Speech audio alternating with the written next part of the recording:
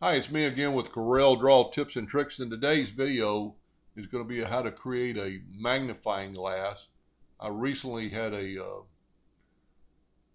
kid that graduated from uh, college with a scientific type degree and uh, I made him a plaque and I somehow I didn't use these wording but I um, I use this magnifying glass and and this isn't the best one. I actually drew a better one for the for the plaque, but you can kind of see all I did was draw a magnifying glass, and as you can see, as you cursor over the the words, it actually magnifies.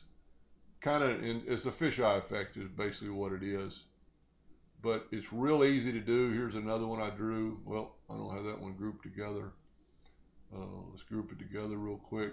Control G and then you can move it around and it'll it'll uh, magnify look whatever you want to do.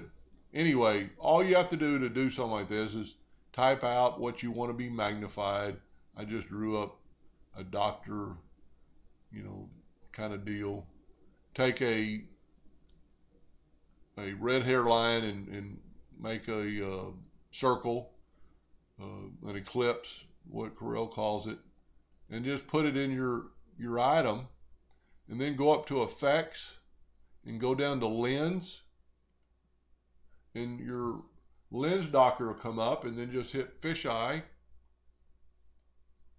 And you actually have to you know even though fisheye was uh, selected you have to reselect it again and then just you're done and then wherever you move that circle and then you could actually take it off and draw your magnifying glass and you know make this a black hairline and put it back you know draw your magnifying glass. I'm not going to take the time in the video to do that. Uh, I actually took quite a bit of time and, and, drew a pretty unique magnifying glass for the plaque I did and I actually failed to take a picture of it before I uh, sent it off. So anyway that's a neat effect I've done a video like this before. there's a bunch of, uh, you know, effects you can do, you know, like that, invert stuff, um, magnify.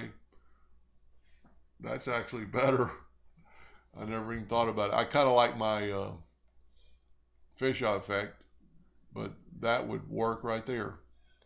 Anyway, hope that helped a little bit, and thank you for watching.